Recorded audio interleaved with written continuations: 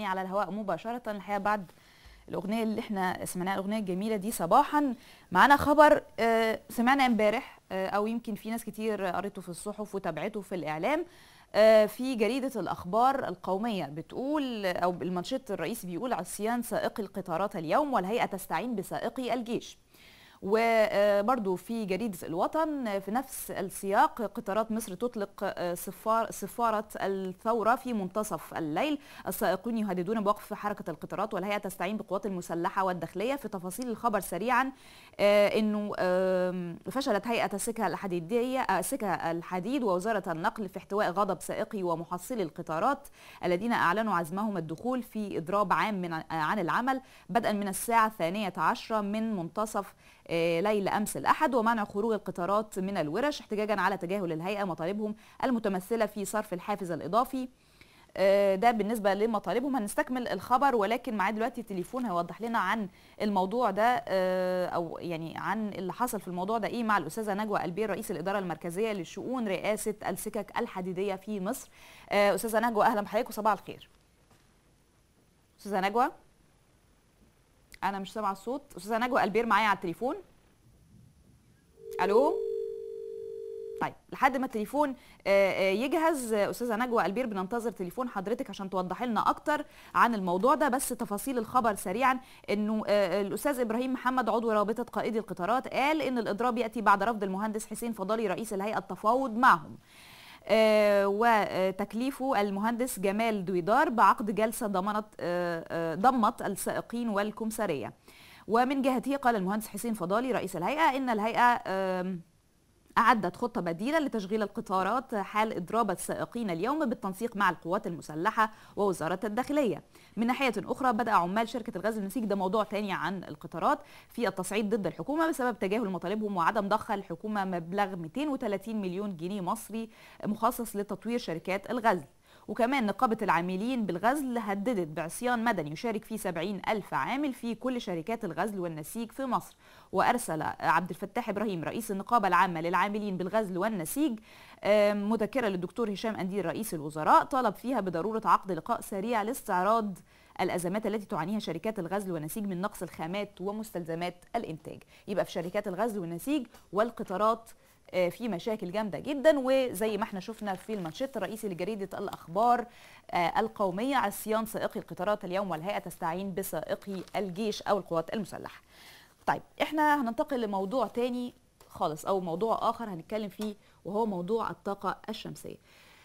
موضوع الطاقة الشمسية هنعرف آه، فوائده أكتر آه، وهل ده ليه علاقة مثلا بأنه يكون طاقة بديلة عن آه، آه، آه، يعني حاجات كتير إحنا بنستخدمها مثلا زي ال- البترول السولار ال- ال- الجاس الحاجات دي كلها في مصر. هل ده مفيد؟ آه، هنشوفه إزاي في المستقبل؟ آه، بوجود ضيفي النهارده وبيشرفني في الاستوديو الأستاذ الدكتور سامح نعمان أستاذ الطاقة الشمسية بكلية الهندسة جامعة MSA هيكلمنا أكتر عن الموضوع ده. أهلا دكتور صباح الخير.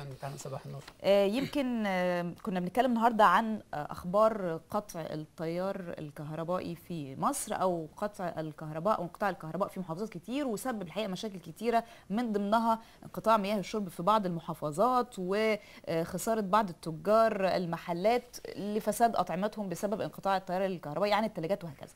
موضوع الكهرباء ده هل بتدخل فيه الطاقة الشمسية؟ يعني نعرف أكتر للسادة المشاهدين هل ممكن يكون في حل في المستقبل بالنسبة للطاقة الشمسية وتدخلها في الكهرباء ولا لا؟ شوفي أنا هقول لحضرتك أنا هبدأ بس آخد دقيقتين كده مدخل للطاقة الشمسية وبعد كده هكلم حضرتك إنها بتدخل في كل حاجة خلقها ربنا موجوده عندنا. تمام. أو الطاقة الشمسية دي أو الشمس ما حدش يقدر يمنعها عننا.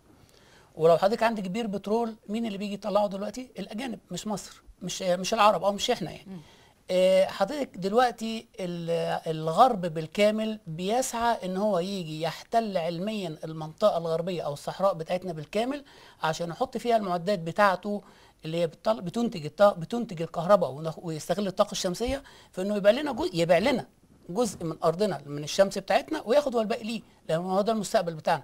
يعني ده البترول اللي جاي. ده دي بقى يعني هم يجوا هنا في بلدنا وياخ... وعلى زي ارضنا ما بيقول ويبيعوا لك. للبترول. بيقول لك للبترول وياخدوا منك البترول وبيطلعوا هم ال control عليك. فهم هيبقوا control على الشمس بتاعتنا. هم بيفكروا في كده. فعشان كده هم عاملين علينا حاجة. لو بصيتي في الدول الأوروبية كل الدول الأوروبية بتشتغل على الطاقة الشمسية على الرغم إن هم ما عندهمش آه، شمس. إسرائيل من يوم ما بدأت شغالة بالطاقة الشمسية وبتستغل هذا الكلام. ما فيش آه فتبصي للدول الأفريقية و- ومصر والدول دي كلها بالنسبة لفهمها للطاقة الشمسية آه، قلة وعي.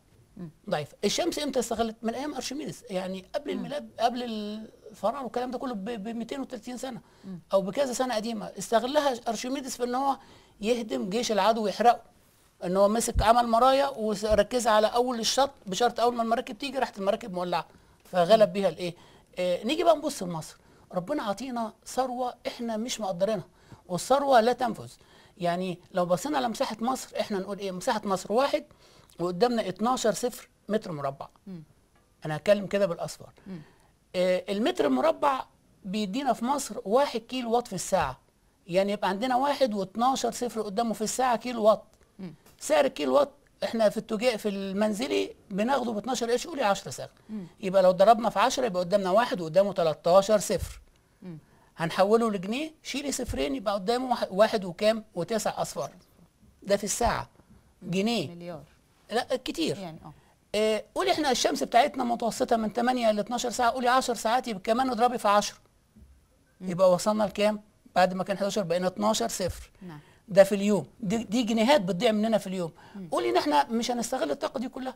لو استغلينا واحد على ألف منها يبقى قدامك شيلي ثلاث أصفار يبقى قدامك ألف مليون. نقول كفاءة الشمس والمعدات بتاعتنا- بتاعتنا كمان 10% منها هيطلع خسارة يوميا 100 مليون جنيه. كل يوم ربنا بيديهم لك انت بتضيعيهم. لو إحنا استغلينا واحد على ألف منين؟ من الطاقة الشمسية اللي هي جاية لنا. دي هتحل بقى المشاكل اللي حضرتك كنت بتقول عليها بتاعة البترول وبتاعة القطارات والكلام ده كله والكلام ده كله. دي طيب الخطوة الأولى. معلش اتفضل بس التليفون مع أستاذة نجوى آه. وصل أستاذة نجوى البير رئيس الإدارة المركزية لشؤون رئاسة السكك الحديدية. أهلا بحضرتك صباح الخير يا أستاذة نجوى. أهلا صباح الخير يا أستاذ زياد آه يمكن معانا في جريدة الأخبار القومية المنشط الرئيسي بيقول عصيان سائقي القطارات الي- اليوم والهيئة تستعين بسائقي الجيش. مدى صحة هذا الخبر؟ آه بصي حضرتك هو يعني الموضوع مش ما وصلش للدرجة دي. ده هي كلها مطالب مالية. وهو جاري مناقشة الموضوع لكن آه، لسه يعني ما فيش الدنيا منتظمة والحمد لله كله كويس. يعني, يعني- إيه؟ طب بس أنا حضرتك قلتي لي الدنيا منتظمة. منتظمة بمعنى إيه؟ يعني هل سائقي الجيش أو القوات المسلحة آه، مش موجودين دلوقتي بديل لا لا لل... لا لا لا سواقين القطارات بتاعتنا هم اللي سايقين القطارات بتاعتهم. يعني ما حصلش عصيان أو لا، لا، اعتصامات أو لا، لا. مظاهرات؟ لا لا لا لا ما فيش. الحمد لله ما فيش عصيان. هو مش مج... هو مجرد بس مطالب مالية للسواقين وجاري مناقشتها مع رئيس الهيئة والوزارة. رئيس الهيئة اللي هو المهندس حسين فضالي المهندس حسين زكريا بالظبط. تمام. طيب آه، يعني إحنا برضو في جريدة الوطن بيقول المهندس حسين فضالي هو آه، آه، رفض التفاوض مع آه، آه، سائقي القطارات والكمسارية لا لا إزاي بقى؟ لا طبعا في مفاوضات وفي مناقشات وفي إن شاء الله وصول للحلول اللي هترضي جميع الأطراف. لكن يعني أيوه اتفضل. يعني ال- الخبر في جريدة الأخبار القومية خطأ. مش خطأ يا فندم. هو يعني يمكن بس وصل إن في تهديدات لكن هو يعني دول أبناء الهيئة وكلمة تهديدات دي كبيرة قوي يعني.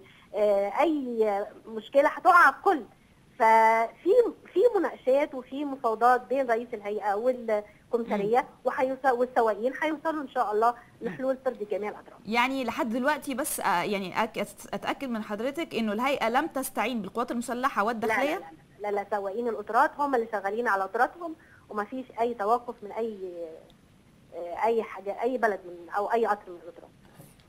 طيب شكرا أستاذة نجوى ألبير بشكر حضرتك على التليفون. يعني. هو يعني آه، أستاذة نجوى آه، نفت ال- الأخبار. يعني هي هي بتقول الخبر يعني أنا بقول لها الخبر خطأ قالت لي لأ أنا مش عارفة. طب هو الخبر مش خطأ؟ المكتوب في الخبر في جريدة الأخبار القومية برضو عشان ما حدش يقول إن الأخبار في آه، صحف أخرى. في جريدة الوطن وجريدة الأخبار نفس الخبر متكرر إنه عصيان سائقي القطارات اليوم والهيئة تستعين بسائقي الجيش والقوات المسلحة والداخلية.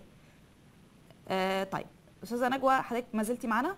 أيوه أنا معاكي. طيب آه المطالب يعني وصلت لإيه؟ آخر آخر خطوة في المطالب.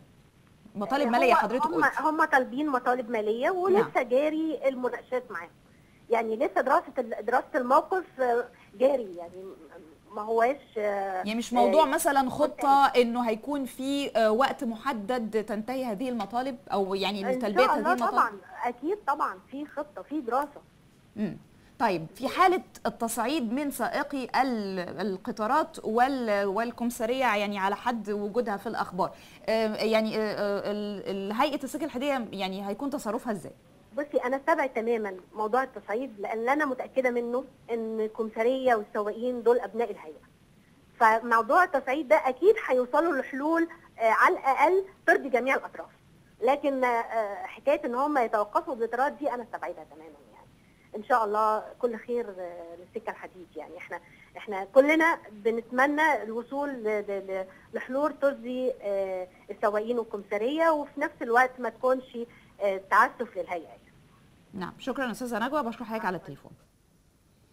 آه برضو يعني إحنا مش عارفين هل الأخبار اللي موجودة في صحفنا القومية والصحف الخاصة هي أخبار آه يعني هي موجود إنه أو اللي موجود في الخبر إنه الهيئة بتستعين بسائقي الجيش. يعني الهيئة فعلا استعانت بالسائقي الجيش والقوات المسلحة. لكن أستاذة نجوى بتنفي هنعرف طبعا في الأيام اللي جاية إيه اللي هيحصل. آه، دكتور سامح يمكن إحنا كنا بنتكلم عن إن حضرتك قلت إنه الطاقة الشمسية تستخدم في حاجات كتير جدا زي ما اتكلمنا عن موضوع الكهرباء مثلا أو تمام حضرتك بقى أنا هحددهم كده وكل تحديد هقول لحضرتك لو عايزة بالتفصيل. يعني هي تدخل معانا في الزراعة تمام. بالكامل وتوفر فيها إزاي؟ يعني هقول لحضرتك البنود الرئيسية عشان الناس تتخيل هل بالظبط. أنا عايزة المشاهد يتخيل معانا الطاقة الشمسية. إزاي مهم آه، في الزراعة وفي الصناعة وفي مصانع الطوب مشاكل إحنا الحاجات دي كلها أنا حلتها وفي البحرية. وآخر حاجة اللي الناس عايزة تسأل فيها في البيوت. تمام. أنا حطيتها دي في الآخر على أساس إيه؟ هم منتظرين يسمعوا دي أنا قلتها. آه في الزراعة أنت عندك حضرتك في الزراعة بتستخدمي إيه في الزراعة؟ عشان تاخدي المية. بتستخدمي مكن زر... أماكن آه، مكن زراعي. يا إما بيشتغل بالكهرباء يا إما بيشتغل بالسولار السولار دلوقتي اللتر بتاعه أصلا ب 2 جنيه وريال. عشان تشتريه حضرتك دلوقتي بيوصل اللتر الواحد 4 و5 جنيه. أنا دلوقتي جاني مشاكل من النوبريه والحمد لله اتفقت على حلها تماما. وفي قرية من قرية منطقة اسمها منطقة اليشع برضه في النوبريه دول ناس بيستخدموا الكهرباء بس المواتير بتاعتهم بتتسرق. مواتير الكهرباء اللي هي المحولات. وناس بتشتغل بالسولار يعني واحد بيزرع على الأرض سولار ب- بيشتغل بمكن بالسولار بيدفع يوميا 800 جنيه سولار. يوميا. ده لو هو. بيشتري من السعر بالسعر الرسمي. فتخيلي تمام. بقى اضربي في أربع اضعاف. تمام؟ السوق السوداء بقى و... في السوق وفي فاضربي في أربع اضعاف. فحضرتك المكنة بتاعته اتحولت لطاقة شمسية كاملة إن شاء الله هيخلصها عن قريب. ده لا هيستخدم بقى لا فيها لا سولار ولا كهرباء ولا أي حاجة تخطر على بال حضرتك فيها مشاكل. يصحى الصبح هو كان يدور يجيب منين السولار أو يروح يجيبه منين أو يدفع فيه كام. دلوقتي ولا حاجة خالص. يصحى ينزل الأرض بتاعته ويتابعها. لأن عنده المية بتاعته بتجيبها له المكنة اللي بتجيب من الشمس. هتقولي ممكن تشتغل بالليل؟ تشتغل بالليل وبالنهار. بالليل تخزن مثلا في ليها طاقة باتري مخصصة بيها بتخزن الطاقة الشمسية تشغليها بالليل. فأصبحت بتحل مشكلة من من المشاكل الرئيسية في قلب البلد. لأنك أنت لما توفري له السولار ويبقى عنده المية اللي هو يزرع بالراحة هو التكلفة بتاعت الزرع بتبقى قليلة. فبالتالي هيبيع لك محصول قليل. لو نبص كده على المستوى العام السعر قليل، السعر بيقل فالاقتصاد. بتاعنا يبقى كويس. بالظبط. يعني الراجل اللي المواطن العادي هيشتري هي الحاجة رخيصة. بالظبط كده. طيب دكتور آه، يعني ده في حاجة كمان. تحلية المية في قلب الأرض الزراعيه أو عامل الصوب زراعية. أنا عندي مثال هنشوفه على التلفزيون على الكاميرا دلوقتي. في قلب الجامعة صوبة زراعية بتتعمل بالطاقة الشمسية. حطيها في قلب الجبل في أي حتة واعملي الصوبة تشتغل بالطاقه الشمسيه تكييف وتظبط حرارة وتظبط رطوبة وكل حاجة في قلب الجبل. فلا تحتاجي لا سولار ولا كهرباء. فممكن كل المناطق الصحراوية تستخدميها صوب زراعية وتعملي الإنتاج اللي انت عايزاه. ده بالنسبة للزراعة. الموضوع طالما هو يعني آه، مبشر كده وسهل لأن إحنا عندنا الشمس آه، مصر يعني قبل طبعا ما السياحة تتضرب في مصر أو يعني مشاكل السياحة كان كل العالم بيزور مصر بسبب الشمس بسبب الجو أو المناخ الجيد. تمام. طالما الموضوع ده متوفر عندنا وهنستغني عن السولار وعن ال يعني ملوثات البيئة زي ما إحنا بنقول مثلا أو المواد اللي بتلوث البيئة. تمام. ليه ما بيبقاش فيه تفعيل وبنسمع إنه كل الأجهزة في مصر وكل ال- الماكينات تشتغل بالطاقة الشمسية وليه ما بيكونش فيه يعني ده أنا لسه هدخل لحضرتك في حاجات تانية كتير. اتفضل. هو حضرتك إيه؟ مين اللي مسؤول اللي يعمل إيه؟ هو عايز يعمل إيه؟ اولا الموضوع ده محتاج ناس مخلصين. موجود في البلد كتير جدا. النظام ده عشان يتعمل شغل بالطاقه الشمسيه المفروض لا يتبع أي وزارة ولا أي رئيس ولا أي قائد ولا أي حد. هيئه خاصة يعني. خاصة تسقط الوزارة يجي رئيس يروح رئيس. مص- شغالة. مالهاش دعوة. لأن لو ما مشيتيش بهذا النظام وقعت الدنيا كلها. كل اللي انت هتعمليه هيبوظ لأن هتعملي هتبني حاجة النهارده يجي واحد يغير بكرة هتبتدي من أول وجديد. ده ما ينفعش. ده زي أي حاجة بتحصل. زي لا بس المفروض ده ما يحصلش. آه. لو تمت كده في الطاقة. الشمسية لأنك انت بتمسكي بترفعي البلد. انت بالظبط كده هتوفري في اليوم لا يقل عن نص مليار جنيه يوميا. وهشرحها لك بالتفصيل. يعني ال- هتلاقي كده إيه دخل مصر بدون ما الناس ما بتشتغل بيدخلها على الأقل نص مليار كل يوم. كل يوم لأن أنا عامل مشروع عرضته من 18 شهر على التلفزيون في قناة تانية مشروع بيوفر في اليوم 8 مليون خدي بالك من الأرقام 8 مليون لتر سولار في اليوم يومياً. الواحد. وفي اليوم الواحد 10 مليون لتر بنزين 80 في اليوم الواحد حوليهم لأرقام حوليهم لفلوس. حوليهم لدخل حوليهم اقتصاد. للدعم اللي انت بتشيليه للحكومة بتدفعه صحيح. حواليه البيئة ده بند من البنود من ضمن البنود اللي أنا بشتغل فيها أو اللي أنا خلصتها تعالي نت- ننتقل للبند الثاني بتاع المصانع. المصانع كل المشكلة بتاعتها في الطاقة الحرارية. إن هي بتاخد عندها مية بتسخنها تاخد منها بخار أو بتمسك غلايات. الكلام ده كله بتستخدم طاقة عشان تغلي المية. اتحل في ثانية بإن أنا بستخدم الطاقة الشمسية بطريقة معينة بغلي له المية لدرجة الحرارة اللي هو عايزها. ما بستخدمش فيها كهرباء. يبقى أنا بوفر على الأقل من 40 ل 60% من الطاقة اللي هو بيستخدمها في التسخين. يبقى كده أنا وفرت له طاقه دي الطاقة دي بياخدها منين؟ بياخدها من البلد. والبلد ما عايزة سولار عشان تشغله فانت بتوفري بال feedback كده بتوفري الحاجات دي كلها. يبقى إذا بالنسبة للمصانع في backbone شغال ليها المصانع اللي بتشتغل على الطاقة الكهربائية العالية. نعم. يعني 500 واط و400 واط آه، كيلو واط و1 ميجا.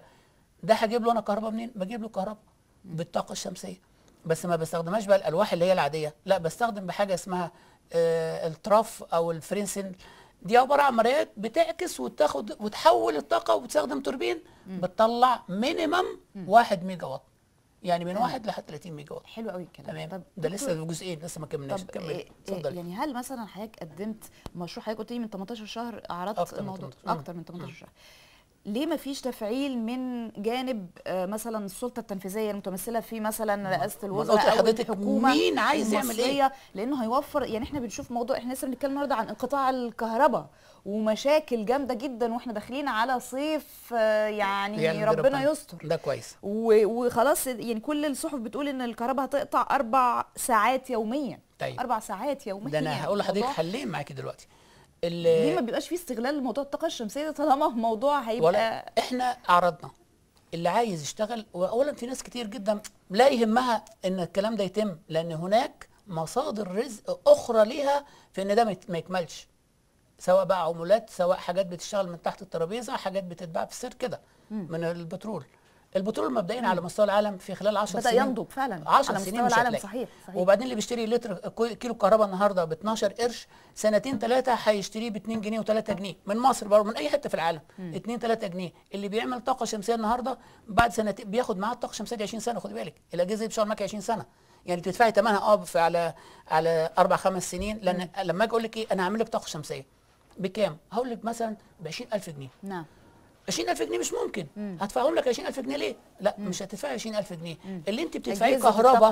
اللي انت بتدفعيه كهرباء في الشهر ادفعيه قسط للبنك والبنك هيدعم. أنا معايا بنكين دلوقتي قائمين جاهزين. اجري كل ده أدي بنك وبنك ال- الاهلي المصري فرع أكتوبر. الاثنين جاهزين يدعموا المشاريع دي كلها. فحضرتك انت كأنك بتدفعي الفاتورة الشهرية بتاعت الكهرباء بس هتدفعيها كام سنة؟ هتدفعيها أربع خمس سنين. وبعد كده يبقى عندك 15 سنة مش هتدفعي. الميزة الثانية إنك أنت بتاخدي المعدة بتدفعي سعر الكهرباء النهارده. اللي, اللي أنت بعد شهر بعد سنتين ثلاثة يبقى إيه؟ 10 12 ضعف. فأنت نعم. بتدفعي بتعملي الكلام ده. فأدي بالنسبة بالنسبة للكهرباء. فأدي المصانع عندك أي مصنع عايز بيتعمل له الطاقة الشمسية ياخد زي ما هو عايز. عايز 10 ميجا عايز ده في مصنع سكر بياخد 5 ميجا وات 5 ميجا وات ده بيدفع عليه 40 مليون جنيه في السنة عشان يخلصها تكلفة ال 5 وات لو عملت له بكام؟ ب 25 مليون جنيه. 25 مليون جنيه دي يعني معاه 20 سنة مش هيدفع كهرباء لل 5 ميجا وات بتاعته. أدي جزء بالنسبة للمصانع نيجي بقى مشكلة قومية معانا مصانع الطوب. تمام. مصانع الطوب دي أنا حليت المشكلة بتاعتهم في شهر خمسة السنة اللي فاتت. ش- 2012 2012 مايو 2012 شهر خمسة أنا رحت قعدت يومين في مصانع الطوب. في منطقة آه، في الصف. آه، وفهمت هم شغالين إزاي. هم المصنع بياخد 500 كيلو وات في الشهر. صاحب المصنع بيدفع من 20 ل 27 ألف جنيه في الشهر كهرباء فقط. أدي مشكلة. آه، أنا عملتها له اللي هو المكنة اللي, اللي هي بتطلع 1 ميجا وات فكل مصنعين بياخدوا 1 ميجا وات دي ثمنها حوالي 5 مليون جنيه. 5 مليون جنيه بيدفعها القسط اللي بيدفعه الكهرباء ده اللي هو 27000 جنيه دول يدفعهم قسط للبنك بعد أربع خمس سنين. البنك بيسهل. شراء. المكن. ده ده. بالنسبة للمصانع تكلفته كده. آه بالظبط. كده. فبالتالي لما بيعمل الكلام ده مش هيدفع كهرباء مش عنده مشكلة كهرباء. 20 سنة. 20 سنة. عنده تمام. مشكلة تانية إنه لما بياخدوا الطوب علشان يجففوا بيحطوا في الشتاء في على بيفرش أرض حوالي 7 8 فدان ويحطوا طوب علشان ينشف وبيحط عليه عفش رز من ده. في الشتاء بياخد 30 يوم عشان ينشف يدخله الفرن يتحرق. بسبب الجو أو الجو. وفي الصيف بياخد 15 يوم. أنا عملت له جهاز بيشت- بيشتغل بالطاقة الشمسية الكلام ده ينشف في خمس أيام. فشوفي توفير المكان.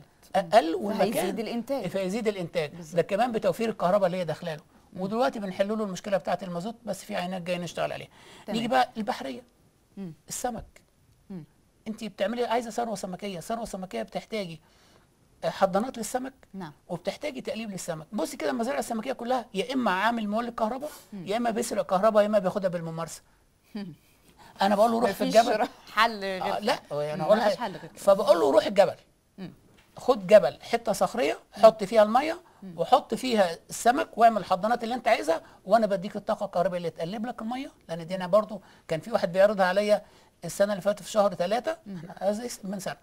في شهر ثلاثة فقلت له دي عشان تعمل مواتير حتة لوح شمسي وموتور وبتلف المكنة بتلف الموتور معاك في الأرض يدي لك مية ليل بتاع تهويه للمية ليل نهار. فاعمل مزرعه سمكيه في اي حتة؟ فانت بترفع الطاقه الشمسيه بتاعتك. حتى الم... نيجي بقى الحاجة الاهم. الحاجة بتقول إحنا داخلين على صيف. الصيف هنعمل فيه إيه؟ تكييف صح؟ مع انقطاع الكهرباء. تكييف مع انقطاع الكهرباء يعني مفيش تكييف. طيب أنا معايا ثلاث بنات مهندسات إن شاء الله. بنعمل ال system ده هو بدأ في اليابان. إحنا شغالين فيه جاهدين إن إحنا بنعمل تكييف المركزي بدون الكهرباء بدون ما تستخدم الكهرباء. بنستخدم الماء السخن. ثلاث مهندسات شابات شا- مصريات نوران وهبة وياسمين. الثلاثه دول وعرضتهم في جامعة MSA. ال MSA وحضروا معايا في برنامج يسعد صباحك القناه الثانية. وقلنا الفكرة بس هم إحنا عندنا مشكلة لأن الحاجات دي من بره شبه حظر علينا. فإحنا بنسعى جاهدين إن إحنا نعمل بتتحاربوا يعني. آه طبعا بتحارب لأن ما حدش عايز لنا فكر إحنا بنسعى جاهدين. إحنا الأربعة إن إحنا نطلع الشكل الأمثل على sample صغير وننفذ الكلام ده. حضرتك مية مية سخنة تدخل يطلع لك مية باردة. يطلع لك هواء بارد. الهواء بارد. هواء بارد. إحنا دلوقتي بنحاول نوصلها لدرجة 5 و6 دي المشكلة معانا. إنما بتوصل ل 17 تقللوا 18 درجة ال- آه عشان نوصل لل freezing. آه. علشان الناس اللي بتشتغل في السمك يبقى على البحر عنده آه عنده تشيلر أو اللي هو ال- المبرد موجود على البحر بدون ما ياخد كهرباء. يبقى عنده مبرد كده موجود بدون. بدون آه، أسلاك كهربائية. وشغال تبريد درجه الحراره اللي هو عايزها بس أنا عايز أوصلها لقليل. نعم. كمان ال- آه، الأسواق اللي بيخزن موز اللي بيخزن لحمة اللي بيخزن الكلام ده كله المبردات. في أي حتة. تمام. انت في أي مكان تشتغلي بيه. طب والسخانات الشمسية في المنازل بقى؟ دي دي استخداماتها ان من الاستخدام. مئات الاستخدامات. بس إحنا بنستخدمها إيه؟ مية سخنة آه، الحموم تشطيف كلام بس لا إحنا بقى إيه بنستخدم الاستخدامات الأخرى؟ أنا بستخدمها أطلع بيها المية البارده بستخدمها في الناس المصانع اللي هم عايزين مية بتغلي. بستخدمها أطلع بيها كهرباء. إن أنا أوصل درجة وبعدين زميلي الدكتور محمد عمل عليها تعديل. يوصل الغليان درجة الحراره في السخان ده توصل ل 97 درجة مئويه و98 درجة. يعني بتاخدي منه درجة. الغليان تقريبا يعني. بس السخان العادي ما بيجيبش كده. إنما إحنا عملنا عليه تعديل. هو كانت فكرة الدكتور محمد صراحة ووصلنا درجة الحرارة بدل ما تبقى 90 بقت 97 وبدل ما بياخد ساعتين ثلاثة عمل ما بيبتدي ستارت للتسخين ده ساعة ولا طول يكون يدي لك درجة الحرارة الشمس. السخان الشمسي وده من أعظم الحاجات آه، اللي إحنا بنستخدمها في شفنا حاجات value. شكل ال- السخانات الشمسية تقريبا على الهواء معانا وحضرتك بتتكلم هي بتبقى ألواح تقريبا كده لا لا السخانات الشمسية عبارة عن أنابيب بس